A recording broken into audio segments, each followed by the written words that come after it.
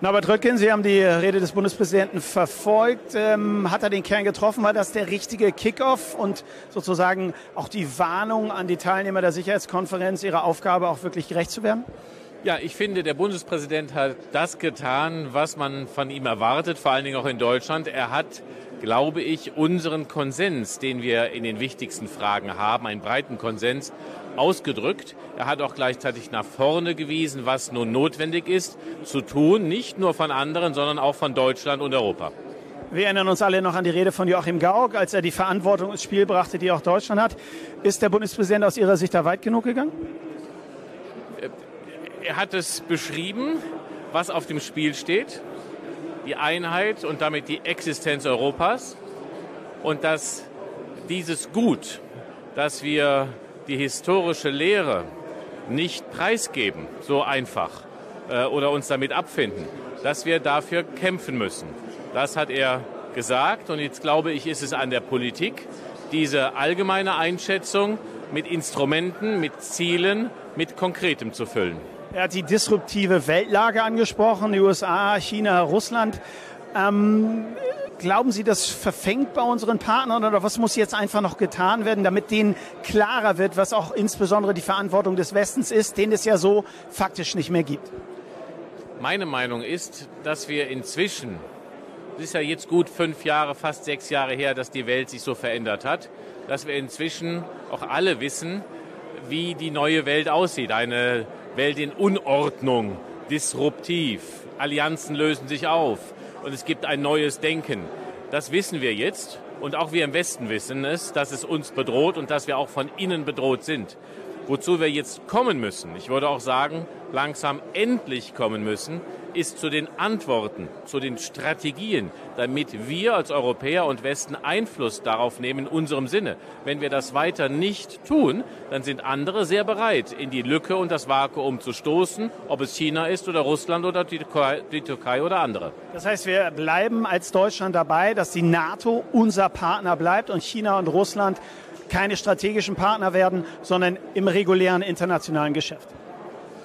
Ja, aber auch die NATO ist ja vor, auch, vor allen Dingen auch ein Kind des Kalten Krieges. Und der Kalte Krieg ist nun seit, seit 30 Jahren vorbei. Und darum muss man auch fragen, was ist eigentlich die Perspektive für die NATO als Verteidigungsbündnis in dieser Zeit von globalem Chaos? Das kann ja nicht nur die Antwort aus dem Kalten Krieg sein. Russland stößt ja in ein Vakuum, was offensichtlich die Vereinigten Staaten da lassen. Ja, genau, so ist es. Das ist aber nicht so sehr eine NATO-Frage, sondern vor allen Dingen eine, die Disruption, ich glaube für uns im Westen die wichtigste Disruption, die aus den USA kommt, nämlich aus dem Rückzug der USA durch ihren Präsidenten von der internationalen Führungsrolle. Und das ist deshalb so dramatisch, weil die USA das einzige, insofern auch einzigartige Land sind, das überhaupt in der Lage ist, diese Führungsrolle wahrzunehmen. Wenn die nun preisgegeben wird, die 70 Jahre nachkriegsamerikanische Außenpolitik aufgegeben werden, dann heißt das für uns, wir müssen nun mehr tun als Europäer. Wir können nie die USA ersetzen. Wir bleiben auch in der Partnerschaft. Aber wir müssen aktiver werden. Wir müssen unsere Interessen selber mehr in die eigene Hand nehmen, um unsere Werte zu vertreten. Dann wären wir bei dem äh, Vorschlag, den Emmanuel Macron ja gemacht hat mit seiner Nuklearstrategie, jetzt wo die Briten die Europäische Union äh, verlassen haben. Wie ist Ihre Position? Bisher hält man sich ja noch relativ bedeckt. Wenn er da weitergeht, äh, ist Deutschland dann bereit? Na gut, er geht nicht wirklich weiter. Er noch nicht? Ja, er sagt, die französische nuklearen Fähigkeiten, die werden nicht geteilt mit anderen Ländern. Das ist unsere nationale äh, Sicherheitsschutz, den wir haben. Und ich glaube, es wäre auch das, es ist das falsche Gebiet. Ich glaube, dass es keinen Sinn macht, den nuklearen Schutz, den wir haben, äh, durch die Teilnahme an den USA und durch die USA, der auf den unterschiedlichen Stufen möglicher nuklearer Bedrohungen eine angemessene Antwort hat, zu ersetzen durch die französische Nuklearmacht, die dafür überhaupt nicht ausgelegt ist. Also die, der eine nukleare Schutz ist da und der andere überhaupt gar nicht. Letzter Satz. Äh, das Verhältnis zu den Amerikanern schwierig, kann man, glaube ich, äh, richtigerweise sagen. Äh, was erwarten Sie, wie sich das hier entwickeln wird? Werden Pompeo und Esper ja in erster Linie, werden Sie Angebote machen oder haben Sie den Eindruck, das wird so ausgehen wie im letzten Jahr? Es wird eine Rede des US-Präsidenten irgendwie stellvertretend vorgetragen und man kommt keinen Schritt weiter. Ich denke, dass sich der Stil etwas verändern wird, weil, glaube ich, auch die beiden Außen- und Verteidigungsminister von der Resonanz gehört haben, die der Vizepräsident hier beim letzten, im letzten Jahr ausgelöst hat.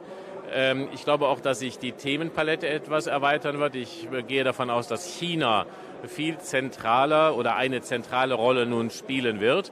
Und hier äh, sind auch äh, neue Möglichkeiten, dass Europäer und Amerikaner zusammenkommen.